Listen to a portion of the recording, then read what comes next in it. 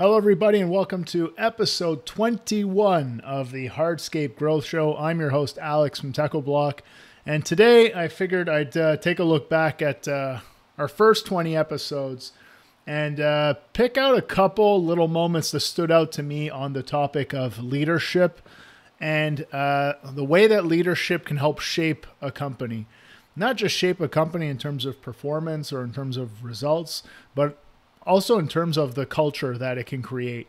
And uh, one of the things that I've learned over my career uh, in well in the industry, but really uh, at any business, is the the company culture can play a tremendous role, not only in uh, keeping people around long term and helping them grow into the uh, type of people that really take your company to the next level, but it also helps tremendously in attracting the right type of talent.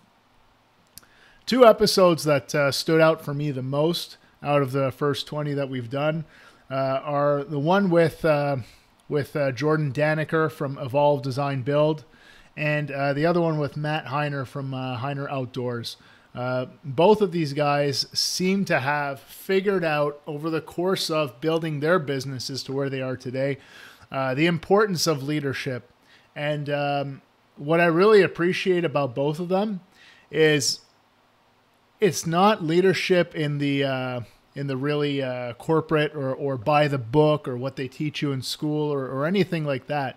They figured it out kind of organically, and once they realized the importance that it represented to their business, then they started looking into it. Then they started researching a bit more, and I think that that's um, that's really key, and that's one of the reasons why we started this podcast is to be able to plant those little seeds of inspiration for you so that you can take the next step and you can reach out to some of these leaders in the industry or you can reach out to um, different uh, organizations, different associations, different Facebook groups, and just kind of start picking people's brains and, and realizing how much bigger this whole thing can be.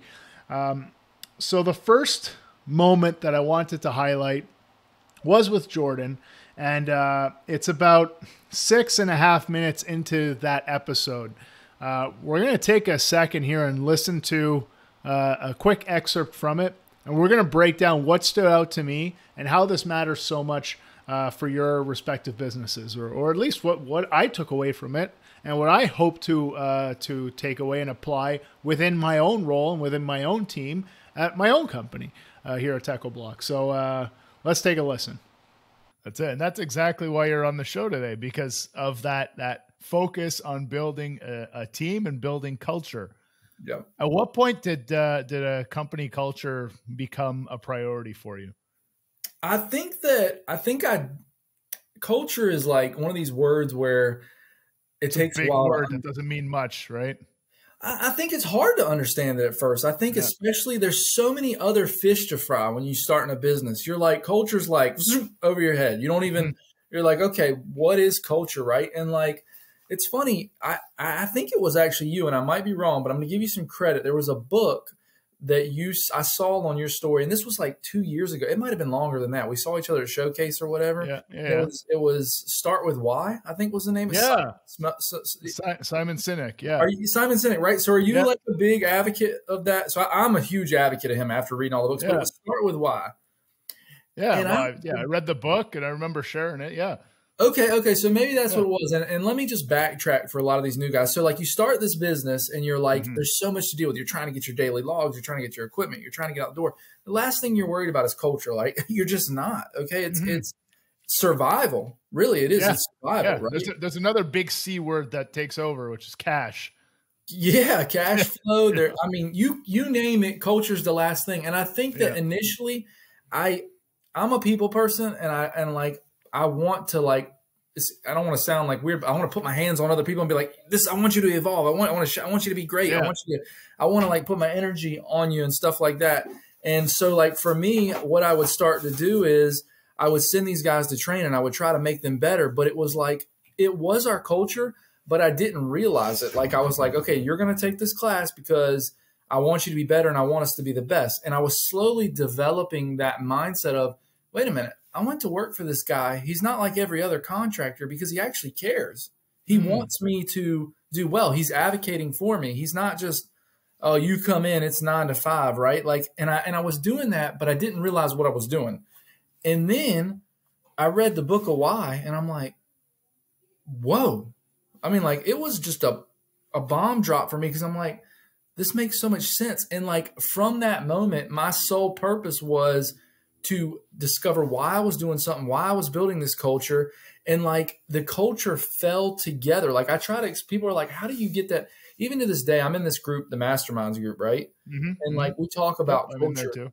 Okay, yeah, yeah, yeah. So yeah, that's right. And you've got a lot going on. So there's, you know, there's you talk to some guys. There's there's actually getting to be a pretty good group now, man. And we've been doing these Zoom conferences. But one of the younger guys, and not that I'm old by no means, I'm only 34. But the the thing is, they had asked, man, how do you guys develop these cultures? And I'm like, I can't tell you how to do it. It's you, but in a roundabout way. Expand it out. Yeah. Exactly. you have to take like what you do instinctually and start to make it intentional.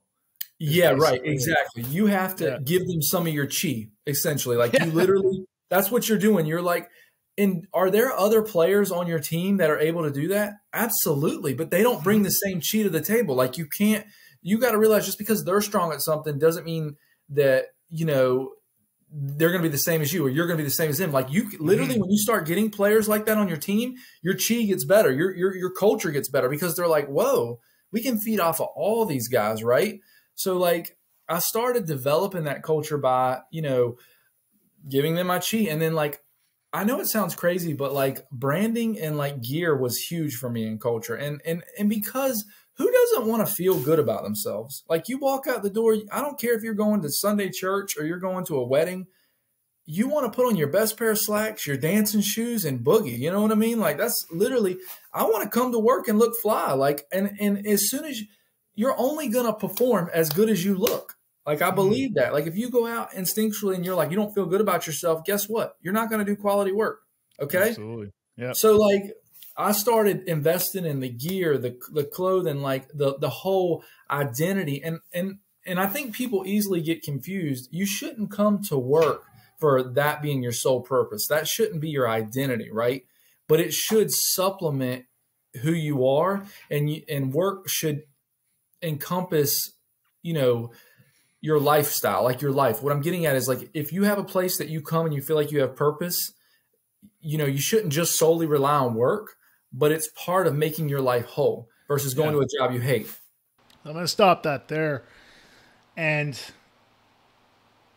I think what st- stood out to me was, you know, I, I started by asking him the question, you know, when did he start to prioritize company culture? When did that become actually important for him that he was making a, a conscious effort to focus on that to help his business? And he couldn't like pinpoint an exact moment uh, or, or an exact understanding of culture until he mentioned that book, that Start With Why book uh, by Simon Sinek. I'd highly recommend that book simply because it really gets to the core of like why are you doing what you're doing and why should people care and as soon as you can figure out what that is why you're doing what you're doing why you founded the business what aspirations you have why should people care whether those be your clients or whether those be the members of your team? Once you figure that out it becomes a lot easier to start to define the culture that you want for your company because you know why you're doing it and you all of a sudden you kind of have this this guiding light this north star or this true north on your compass like this is where we should be going. Uh, there's a couple other things that he pointed out that, that really stood out to me. Um, you know one was once he understood the importance of culture, he began to prioritize it. He started making it a focus for him as the leader of the company. He recognized that others contribute to the culture of the company, but he needs to define it, he needs to shape it uh, for his company to become the uh, representation or the, uh, the realization of the vision that he has and why he started it in the first place. Um, another thing that stood out to me, which he didn't really say, but it's kind of implied because he said he wanted to build good relationships with everyone on the team. He wanted to be able to uh, help uh, train them and mold them and shape them into what he wanted the company to be. And to me, what that says is hiring for attitude, not necessarily hiring for aptitude. Um, and I think that that's something that strong leaders are capable of doing because they recognize that as a strong leader, there are certain things that people can learn. Uh, they can be taught, they can absorb that information, they can apply it easily, and with the right structure, with the right processes, with the right checks and balances, and with the right overall guidance and supervision, you can teach anyone on your team almost anything that you know.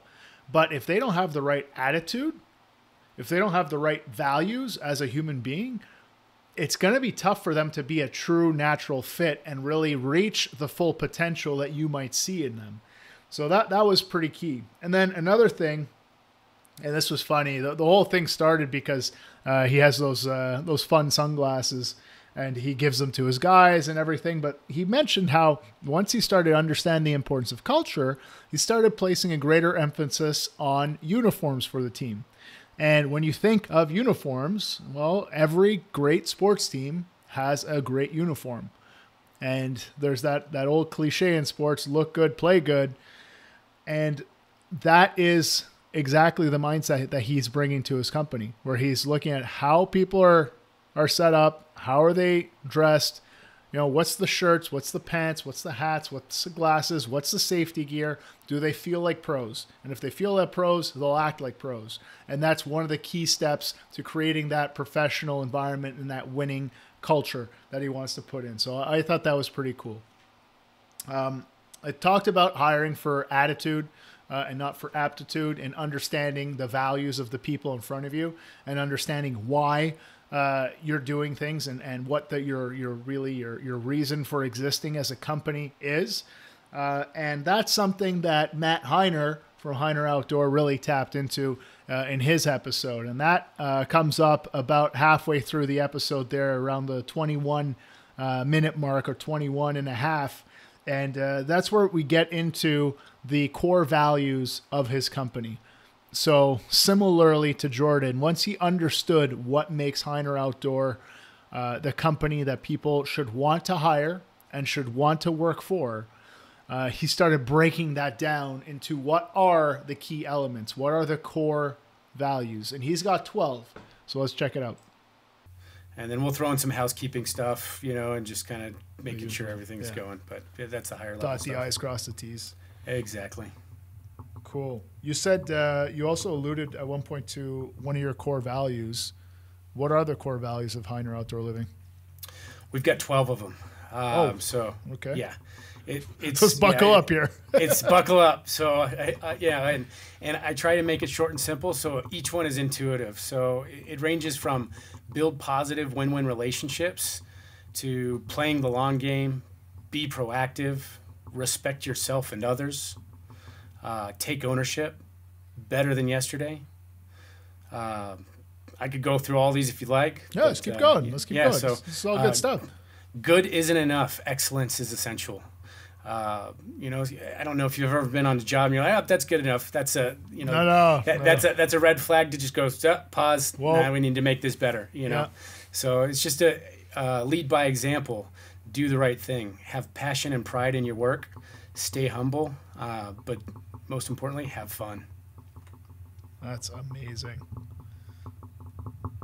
I guarantee that's going to get a lot of playbacks. if you want to rewind, listen to yeah. it again, write it down.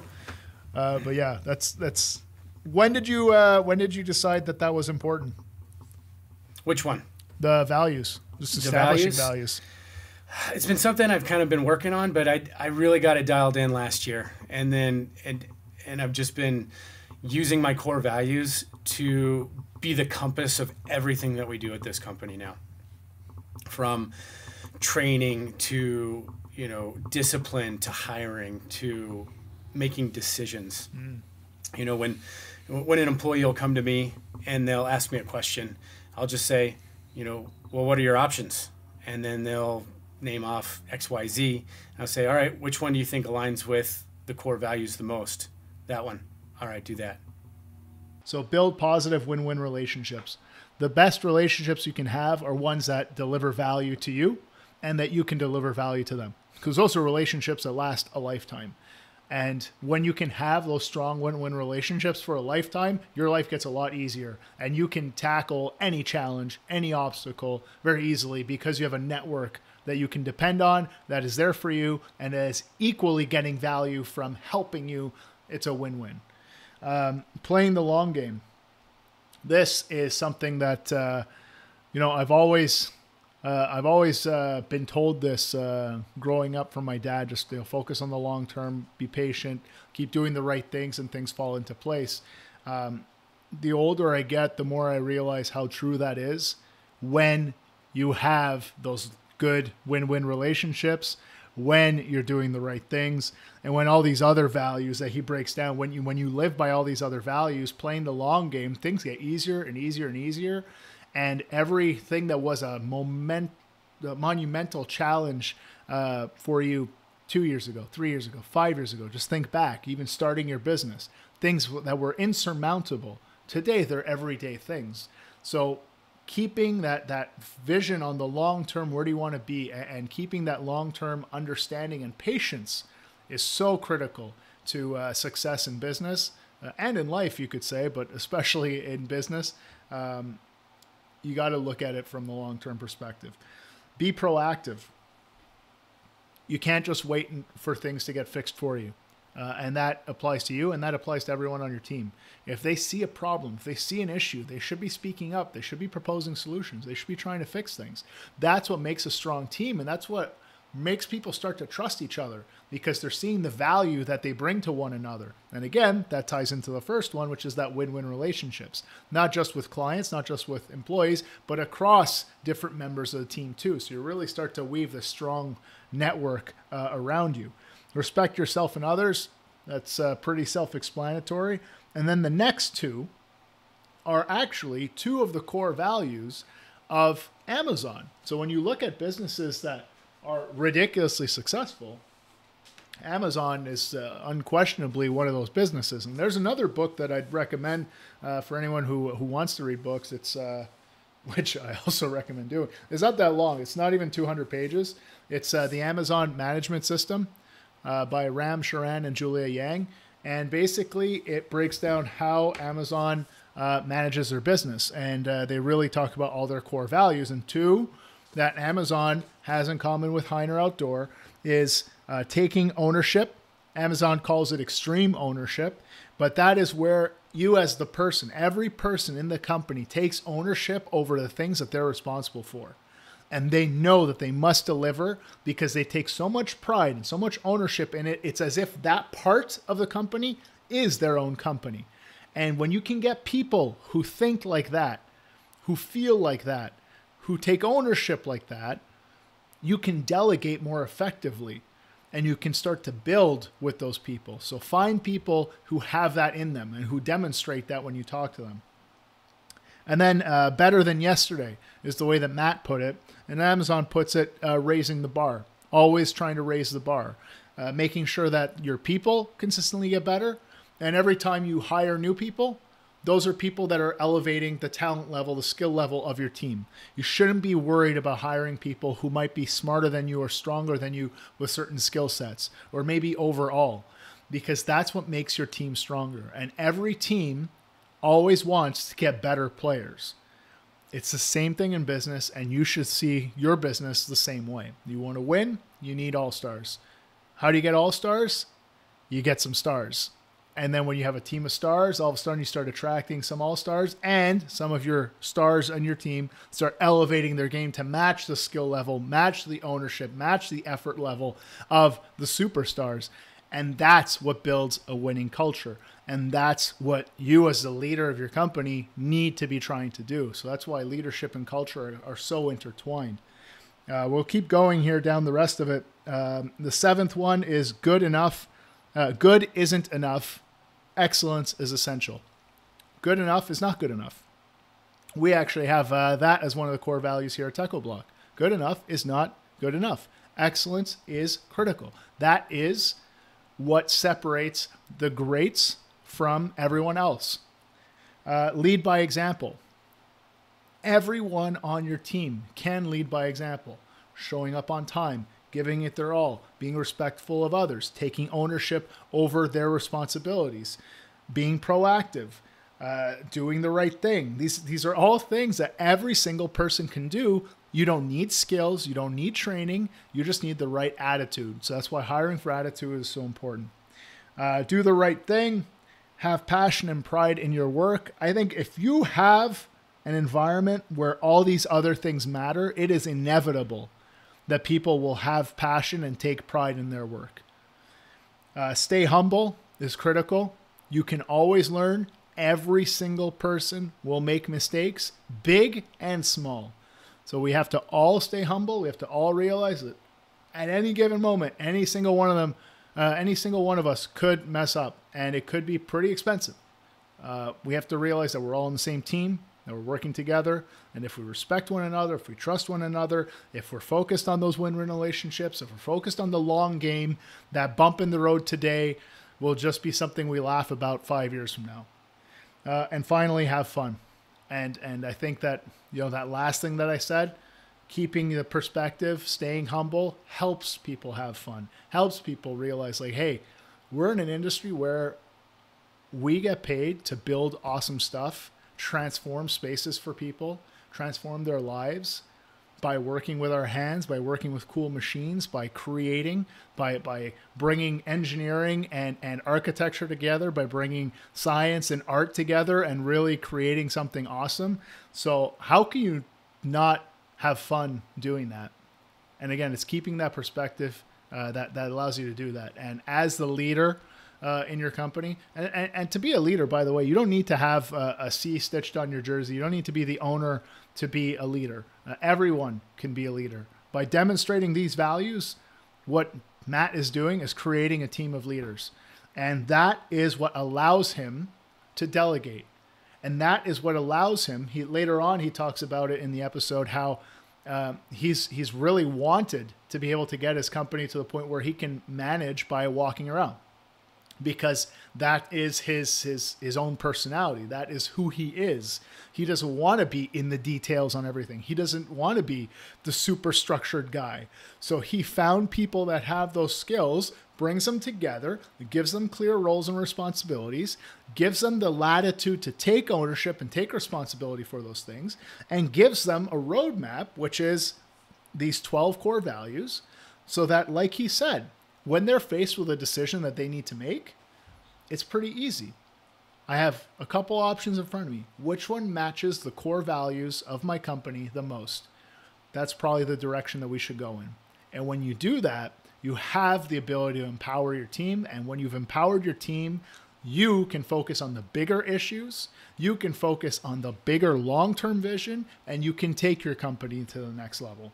So I just I just thought that uh, these two episodes in particular, these two gentlemen, Jordan and Matt, uh, they are doing phenomenal things with their businesses. And to come on the show and to share that with us, uh, they're doing phenomenal things for the industry too. So uh, I know I thank them each individually. I'll thank them again right now. Thanks, guys, because uh, what you're doing and how you're sharing this information is really uh, helpful to everyone in this industry and and anyone really who stumbles across this podcast, whether you're in the hardscape industry or not, even though the hardscape industry is the best industry, you will not convince me otherwise. Um, I guess that's it for this episode. We're in the month of June now, so uh, I know that everyone is crazy busy. It is peak hardscape season across North America, so I'm trying to keep these episodes a little bit shorter so you can just get through them. Um, like I said last week, if you have questions, if you have topics, if you have ideas for guests, if you want to be a guest on the show, uh, drop us a line at podcast at hardscaper.com or send us a DM uh, at hardscaper on Instagram. That's hardscaper with an underscore at the end. And uh, it'll be our pleasure to uh, get back to you and, uh, and talk about how we could get you on the show or cover your topic on the show. Um, and I guess that is it for this one, folks. So thank you very much. Uh, we have hit a few thousand listeners in just the first 20 episodes in just a few months. It is incredible the response that we've gotten from uh, from this audience. Um, I'm truly hum- humbled and, and, honored to uh, to have this opportunity, and uh, it's because of your support that we're uh, able to keep doing this. So thank you very much. work hard, pave harder, and we'll see you next week.